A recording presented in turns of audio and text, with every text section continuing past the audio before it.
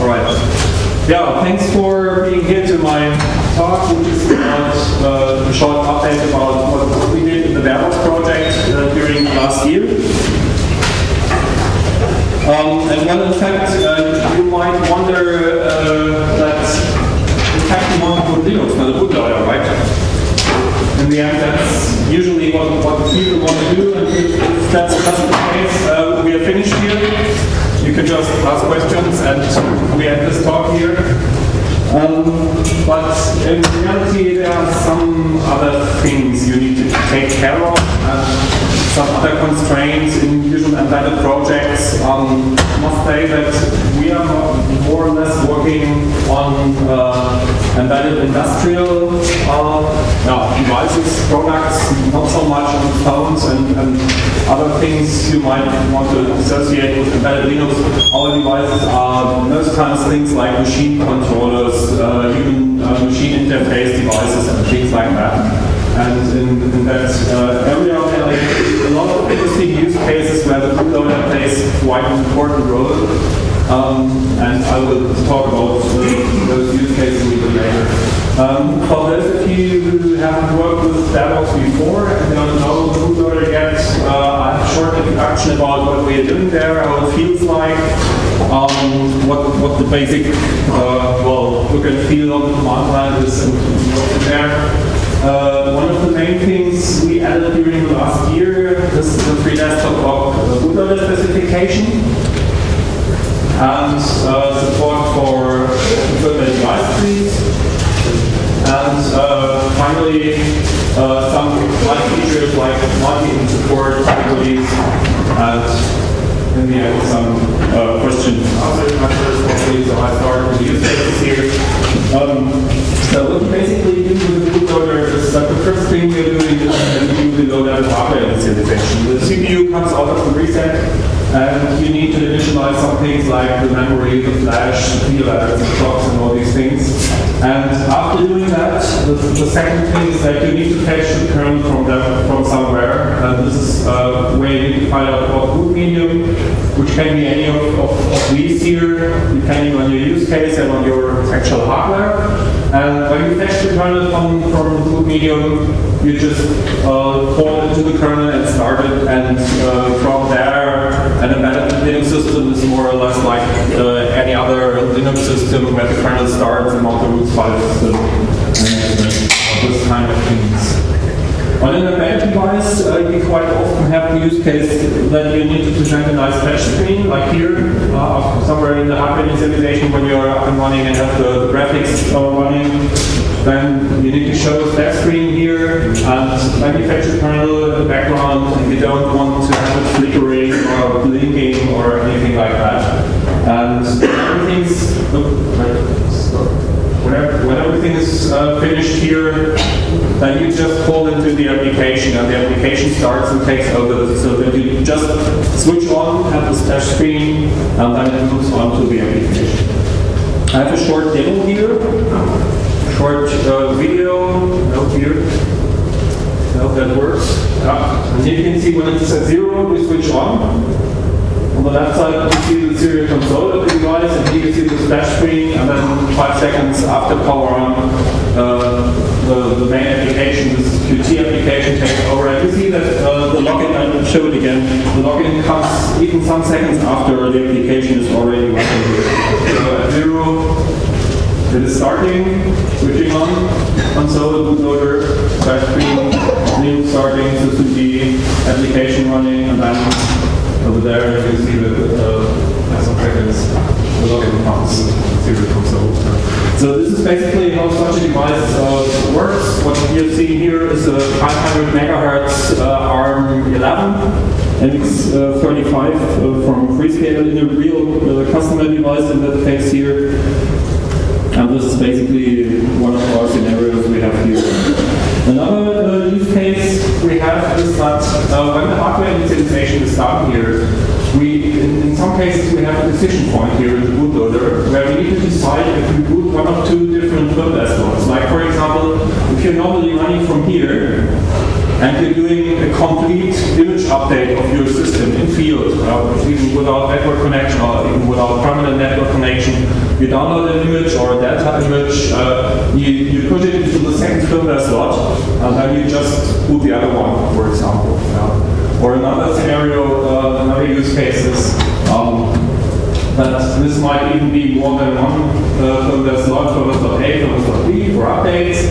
And if something fails, if something goes wrong with the main uh, control application or something like that, then you might just decide to go into some factory default or into some emergency Linux which just shows uh, a splash screen which says, uh, well, contact the, the service uh, technician or something like that. So deciding between different uh, firmware slots is an important thing, and in most cases this really needs to be done uh, with the bootloader because all the rest of the system can be exchanged uh, during uh, the firmware update. So next thing is uh, a short introduction uh, to Barebox. When we back in 2007, there have been a lot of things with U-Boot we have not been really happy with. And uh, basically it was that, that U-Boot is, is, very much uh, written in a microcontroller-like fashion. You have a lot of configure, uh, a lot of um, defines where you can do things on compile time, and you have a lot of things which, which are really different from what we have learned in the Linux kernel during the last 10 years or so. But the Linux kernel brought up a lot of new good ideas about how to write C code, how to make it well tested, how to uh, well do things in, in, in, a really good way. And we tried to adapt these good ideas uh, and take them from Linux and bring them into the bootloader space. Another iteration was uh, POSIX. When we first started with Barebox, we thought that there are a lot of things which, which could be more POSIX-like, like uh, a normal command line or all these things. And uh, we tried that, it really helped a lot, and uh, we got rid of a lot of strange things uh, in the U which made a lot of problems uh, during, well, mostly during hardware Hardware bring is something we, we do in our daytime job, uh, so new, new, new hardware on our desk which never run Linux before, and then trying to make everything work. When we don't know if the hardware works actually. Uh, this is something where the bootloader plays an important. Um, frameworks is pretty important. If you remember uh, the old Linux 2.4, there have been a lot of drivers who just implemented interfaces. And today in Linux we have frameworks and mid layers in there which implement the interface and have an internal API. Uh, and uh, that's something we do in Barebox quite often. File systems is also something uh, we have in Barebox these days. Uh, we just borrowed the K-build K-config frameworks from, from Linux, which gave us parallel uh, compilation uh, quite easily and all these things. Um, we have a standard shell, one of the BusyBox shells, uh, where, where you can use commands like copy, rm, ls, and all these things. Uh, we have real scripting, and so basically the idea is to get best of U-Boot and Linux and mix that together and still do it bootloader way without interrupts, without having things in parallel and uh, these, these things. So here's a typical startup from Barebox, how it looks like. You get a banner here and some messages about hardware stuff, and then this typical countdown here. Even that scripted in, in Barebox can be thrown away, you can do it differently and all these things, and then we get a command line and can do things here. Um, we have our file systems, uh, basically the uh, run file system which is mounted to Slash with real mount points and things like that. We have a device file system mounted to dev and, and the environment that's copied to that uh, path here. And then we have a standard command line that very much feels like Linux. So if you're doing Linux uh, usually, um, and you're doing uh, bootloader stuff, then that, this will feel really familiar. From time to time you, you do things like type, typing Vim or something like that. Uh, and the, sometimes one really forgets that this isn't the real Linux. Um, and you can do things like that and see things here and uh, if we have device nodes and that here, you can see this. And uh, one really important thing if you bring up hardware is that you are able to access memory. look around, look into registers, try to find out what's going on, things like this. And what, what, we are doing here is that, for example, there's this MD memory dump command here, and that usually works on that MEM. You can just look into the, the ROM bootloader of that M20 uh, processor here, and uh, if, if, you don't want to access uh, the, the, normal physical memory, you can also use one of the other drivers available, like uh, in this case here, one of the Ethernet PHYs, and if you add uh, the word switch here for 16-bit access, you can see that you can just access the 16-bit uh, 16-bit um, word register uh, this PHY. Uh, this is uh, pretty much debugging stuff, just find out what's going on in the hardware and, uh, well, to, to, to, bring up new electronics. Um, one of the most interesting concepts is that if you have a file system, you can just start copying things around. You don't need any special commands for that anymore. Remember fetching the kernel from somewhere and putting it somewhere somewhere else, some other address. When, when I worked on, U-Boot, I, I, just confused all these hex addresses, yeah, where you had to copy the kernel to and all these things. And uh, all this becomes much easier, like uh, if you look at, for example, this here, this is just copying from def 0 to, uh, well, to somewhere. Um, in the file system, in the run file system, uh, and you can just say, I want to use this device, and you don't have to remember where this device was and uh, what the correct text was. It's quite comfortable. Um, it's also possible to add uh, partitions, like, uh, well, when the kernel starts, it usually needs some idea about how your flash is partitioned, NOR flash, NAND flash, all these things. And uh, we have an add part command in Barebox as well, and you can just uh, give it a string here, which uh, specifies layout of partitions, and uh, Barebox is able to access that, and it's exactly the same setup like what the kernel needs. You can just take that over to the kernel command line and continue there. Quite comfortable as well. Um, another interesting concept is uh, device variables. For example, a device like uh, the first Ethernet device here can just have parameters. If you use the devinfo command here, you can uh, call devinfo ETH 0, and then you see what the driver outputs for this device, and here you can see what kind of parameters it has, like the IP address uh, and so on. And you can just uh, it like a variable, like this here. So setting variables for devices is uh, quite easy also getting the like TFTP, for example. Uh, recently Barebox, we are more going towards uh, having, well, things automatically mounted, so you can even copy things from the TFTP file system and things like that. So that's, that's all quite easy and it's very abstract if you compare it to our design Okay, so this was basically a short introduction for those of who are not familiar uh, with, with yet and uh, didn't work with bootloader in the past, just to get a little bit of an impression how it looks like. And uh, the next thing I want to talk about is uh, the free desktop bootloader specification. And if we uh, remember this image here, where we actually started uh, the system here, came to the decision point, and then wanted to call into one of, of, of these, well, call it distributions or Linux systems, um, then we have, in fact, we have one problem. Um, when you have actually started the kernel, then it's quite clear how, how the next steps look like. Uh, you can give uh, the root file system uh, variable to the Linux kernel command line and tell the kernel where it finds its root file system and all these things are quite clear.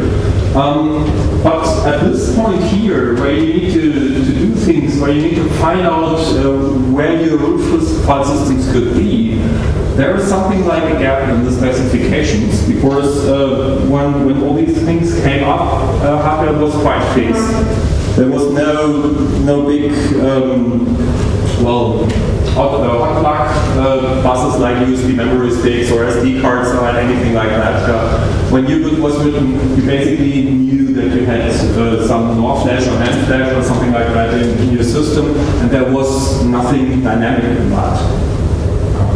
Today, um, especially if you don't look at these deeply embedded uh, devices, but at things like netbooks or more PC-like devices, then quite often you can just plug in an SD card and start from that, and you basically don't know anything about that. Uh, you, you, want to look inside, you want to introspect that, and you want to find out what's in there. And this is basically something uh, where we have a, a, gap in the specifications. Uh, we looked around how the big distributions do that today, um, especially on, on different ARM targets. And for example, if you look at uh, how um, Ubuntu works on, for example, the x53 Quickstart board or the Panda board, uh, the Toshiba AC100 or um, 3 Eagle board, then we find a lot of or how-tos. Do this command, take this one, and then a lot of instructions you need to do in the right order, and in the end you get your system up and running. Basically the same if you look at uh, Debian on different uh, ARM systems, it's also more or less how to wear. Uh, you, you, look into some wiki, you, you, you, collect your commands to do the right things, and then in the end it starts up. And when the kernel is up and running, then all the systems uh, feel almost uh, the same.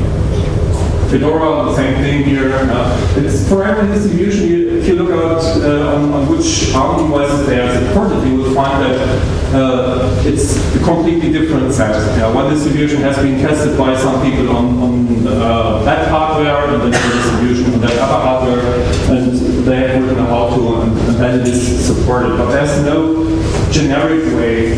here is uh, where we have this, gap between the bootloader and the kernel and there's nothing which, which is unified in, in that area so far. Uh, so it's basically a manual process.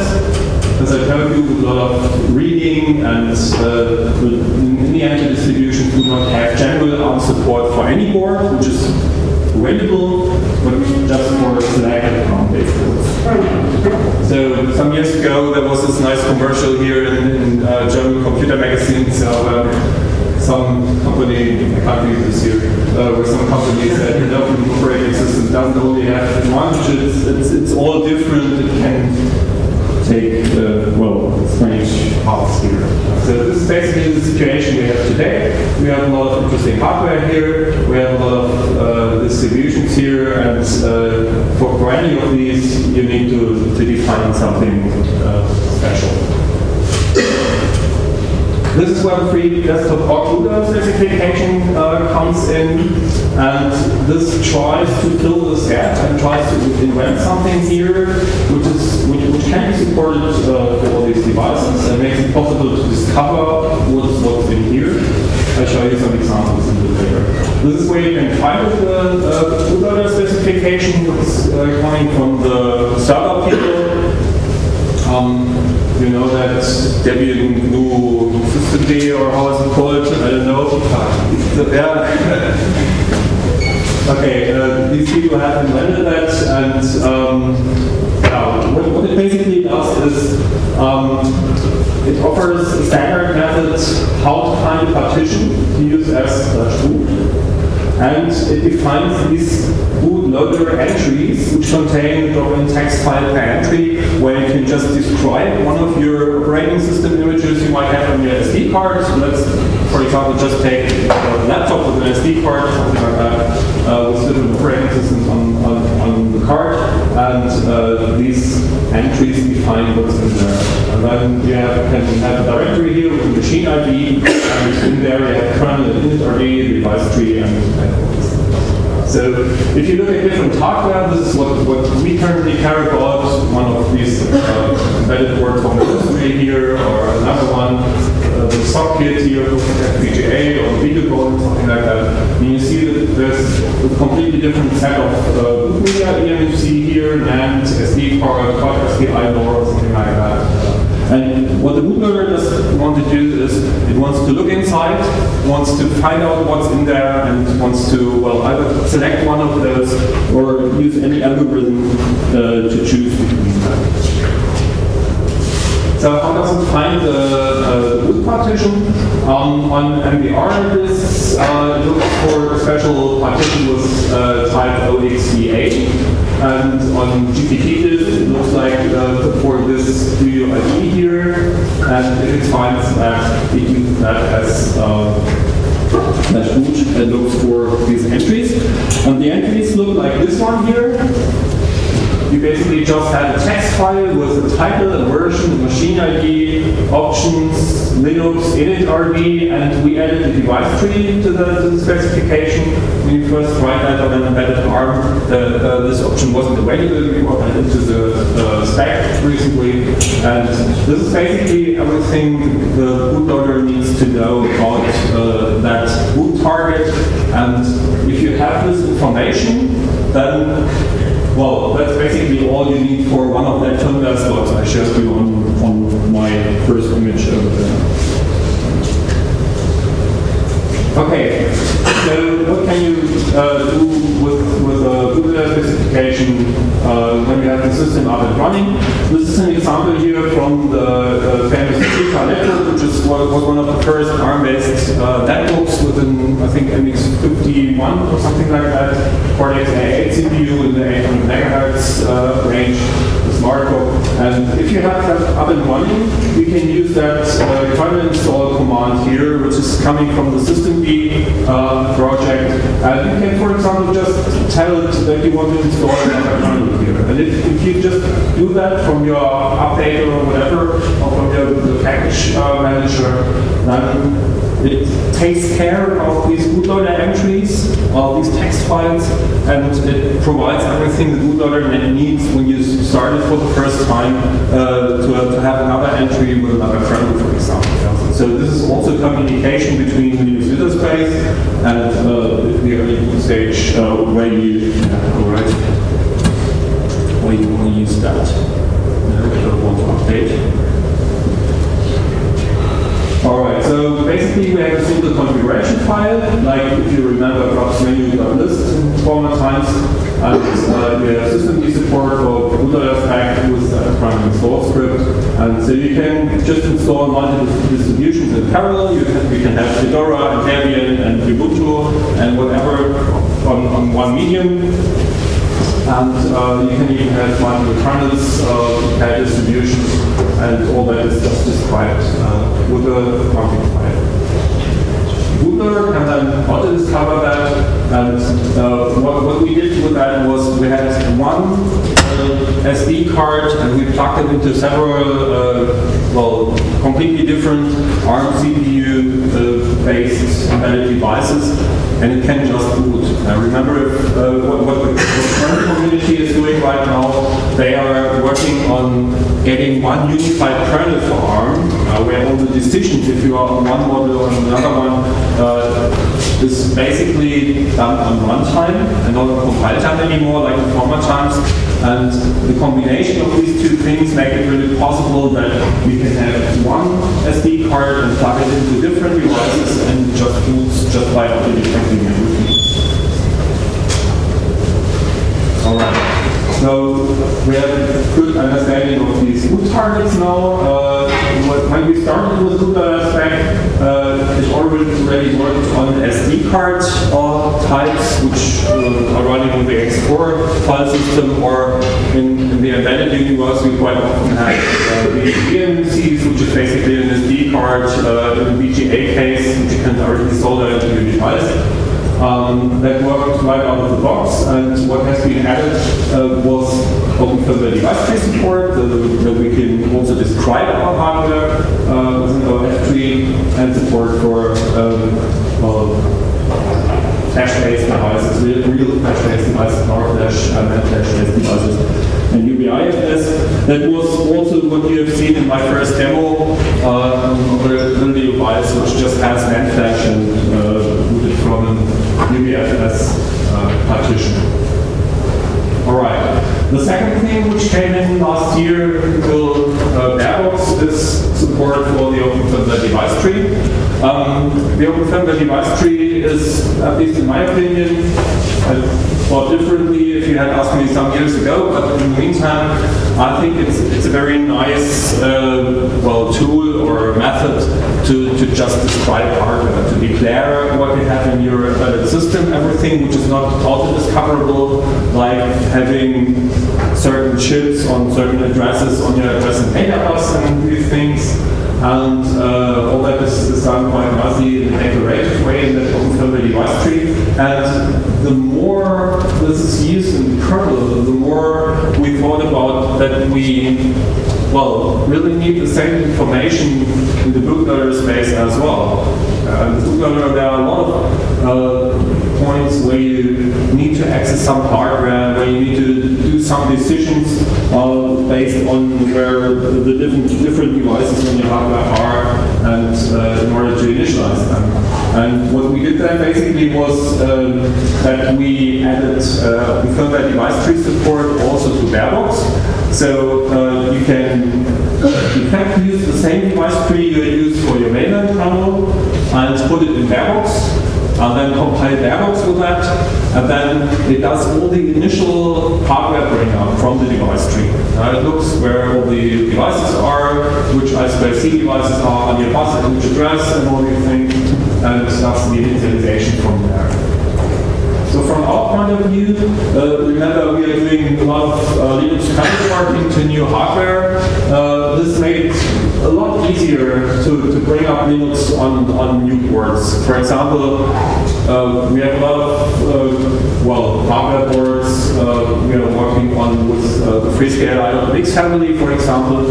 And if I remember how that worked, let's say two or three years ago, it was always a lot of low-level hacking, a lot of programming, writing board files and these things, pushing things through the compiler. And if you compare that to how that works these days, um, it's basically writing an OF tree. So if you have written an OF tree and have, have described your hardware, have uh, specified where all the devices are, then you're basically done. You just feed the device tree to uh, bootloader, to and well, it moves. If you've done everything right, of course. Okay, the same device tree can be used to start the kernel, so you can just hand that over from bootloader to the kernel, works more or less automatically. Uh, there are other nice features in Barebox, for example, that you can runtime patch the device tree. Uh, we sometimes have the case that uh, there are variants of the board, let's say with 512 megabytes of RAM or with 1 gigabyte of RAM, and if you can't auto-detect that, you can just, if you know that, you can just write a little runtime patch for the device tree and put that into Barebox. Uh, and so you can just put it there, and then it loads the device tree, changes that entry to, to what you already know, and then handle it off to the kernel and start. It works quite nicely.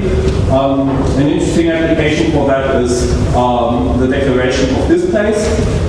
We have uh, one embedded system which is often used uh, for the uh, for the displays for train stops and, and that uh, kind of And what happens there is that if the display breaks and needs to be exchanged, and the technician goes, goes up there and mounts a new display, and uh, well, he, he doesn't, know much about software, right? He, he, just knows how to screw the display into the case and all that.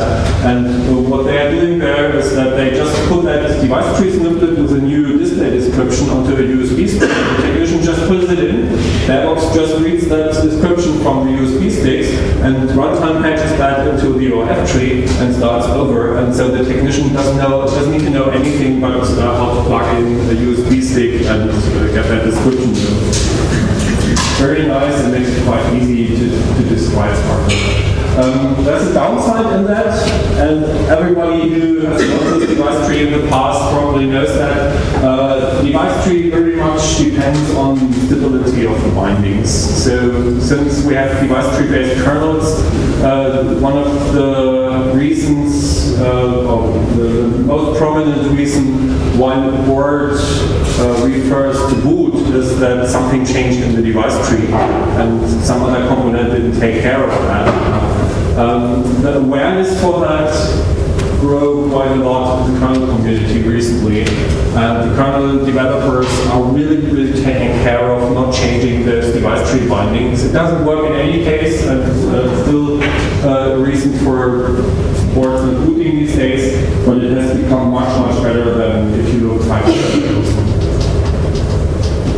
All right, some other goodies. Um, for example, we have uh, multi-image support in Barebox here. Uh, with multi-image support, it's easily possible, difficult to read here, uh, it's quite easy to build um, multiple images uh, from the same config with the case that we have one DevOps configuration. Remember, that's just kconfig. We type make menu config, and then you can change things.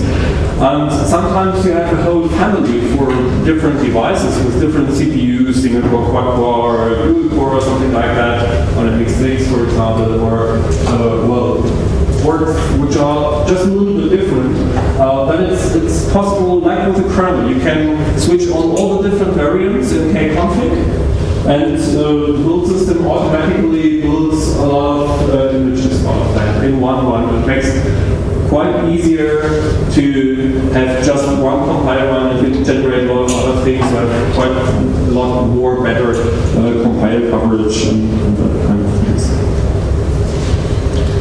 For these auto-detectable uh, devices, there's a nice detect command now. So that on introspectable buses like USB or SD, we don't know before what was in there. And usually you have the situation that if you look on any boot what's, what's on that USB uh, bus, for example, this needs quite a lot of time.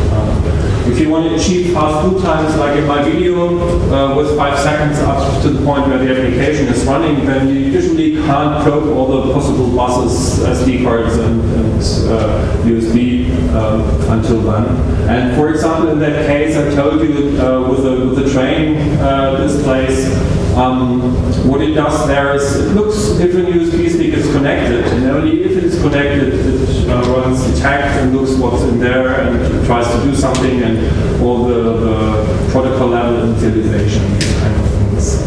So that's also quite nice. Uh, and we can, for development nice, you can mount all the devices at once with mount minus A.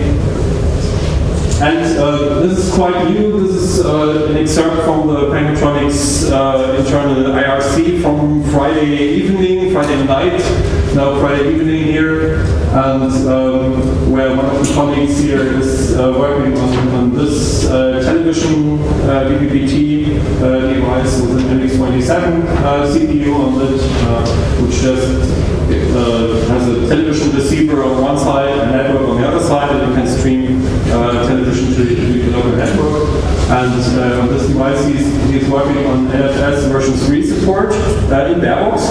And as you can see here, he can uh, have a look at uh, the file system on the server here. NFS version 3 is pretty important for us because if we have that, we can basically get rid of uh, the requirement to have a TFTP server for development. I mean, if, if you're doing bootloader development, in, in, most cases you will probably have a TFTP server running, right?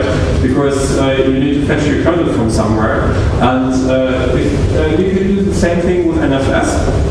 And the interesting thing there is that you can uh, use user space NFS daemon, and you don't need to install anything on, on the development machine anymore. Uh, installing things on the development machine is usually something where you need, you need to do a lot of things correctly. Uh, choose the right TFTP daemon, that's not an easy task sometimes. There are so many different ones with different bugs and different features.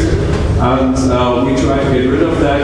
And uh, well, we are also working with PTXdist that uh, cross-build system, and in PTXdist we have a feature where we can just uh, run a command and then expose our root file system via NFS root, and now we can also uh, expose the kernel via NFS version 3, all from user space without needing root access, and then can, uh, the board can boot up and uh, do more things. So it's quite new to the, today's knowledge, not, not even in the repositories yet and I think quite an interesting thing which makes uh, development a lot easier. All right, so if you want to try that, uh, give uh, the most important uh, communication channel uh, the website, uh, and IRC, IRC channel and uh, Freenode, and uh, we have um, this mailing list here, which is the main communication channel, basically, where you can send your patches, we have a git tree and all that. You can find that uh, on barebox.org. All right, that, that's my talk. Thanks for coming. Do you have questions? Okay, I've seen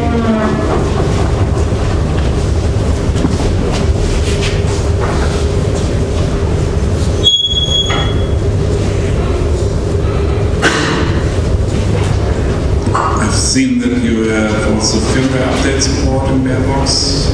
Could you elab- elaborate on that? Um, firmware update in, in which sense? I mean, writing a kernel to some... I don't know, I've just seen a menu option in the configure menu of Barebox, I don't know.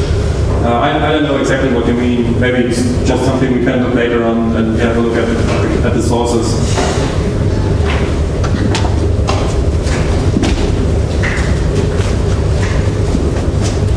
Maybe for FPGA. Any idea of your market share? I mean, your competition is essentially uh, U-Boot, and uh, do you have any idea on how many of those boards are choosing one or the other project?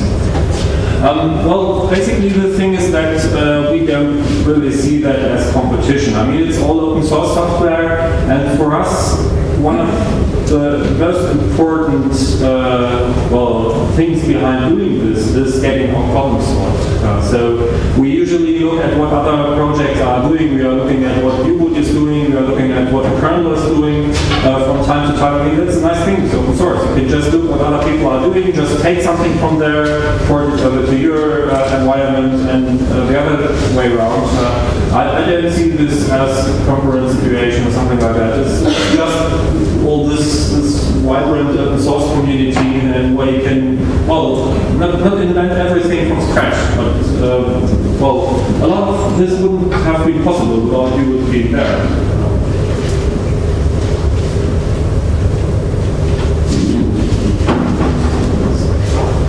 Uh, a quick question, what about UEFI support? Any plans, uh, status? Yeah. Um, I think that Sascha Hauer, who's the maintainer of Barebox, has already looked at what's possible there. And there are also ideas like, uh, no, I don't say anything. there are also some ideas how to implement that in, in all the interfaces uh, in, in Barebox, uh, but it's not there already. But uh, it should be possible in some or the other way. Well, we, we continuously look around what's going on there, and basically the idea behind all that is being able to boot Linux somehow. Uh, the Linux universe is changing over the time, and also the methods how uh, the bootloader and the kernel interaction is changing, and we, we, we don't really know what will happen during the next uh, years. You know, there's all these heated uh, discussion about ACPI on one side and UEFI and doing Q embedded on the other side and doing more F3 and this kind of things. Uh, I think it's, it's quite interesting to observe all that, and in the end, uh, what, what we need to do is to make Linux good on the hardware, and whatever is necessary needs to be done with the open source components. Um, so you mentioned at the beginning of the talk that you introduced um, some modern programming uh, um, ideas into, into the bootloader. Uh, more specifically, the I, I don't know whether I remember it right, but uh, you have some kind of driver model for um, for Barebox. Yeah. So um, assuming there's this Linux kernel driver I would like to have in the bootloader for whatever reason, what's your belly feeling? How hard would it be to, to port the Linux kernel driver to the bootloader? I didn't understand the last part. Um, how hard would it be to port a Linux kernel driver Ah, to the bootloader? Yeah, uh, in, in general, that's pretty easy. Um, in fact, uh, the driver model in Barebox looks quite similar to what the kernel has. I mean, it was entire, uh, inspired from there. And what you basically need to do is you need to get rid of all the parallel execution stuff. Now, we don't have interrupts in Barebox. I mean, it's still the bootloader, uh, although we have all those nice fancy things. And if you, it's, it's uh, in, in some way, it's like uh, if you look at Linux 2.4 days or something like that, where you didn't have SMP and, and these kind of things. Uh, so it's basically taking a driver from the kernel if you really need to, uh, well, making it easier, remove the parallelism, and then put it there. So it works quite nicely. Uh, in fact, we don't really like this. Yeah, because it's code duplication. In the end, and we don't like code duplication like anyone else is working with that. But uh, if, if you look at my use cases with, with all these uh, fallback images and things like things like that, that basically doesn't work without any instance which takes care about that decision point or the algorithms how to choose which partition and how to choose which filters. So this is basically what, what still drives uh, that we think you need a bootloader even today, uh, and things like just starting the kernel is, is no real option for, for most cases. There are valid uh, use cases where this is an option, but uh, there are a lot of really good use cases out there with real devices where that really doesn't work. Thanks. Questions? Okay, then thanks for being here. And if you have other questions, you might also come.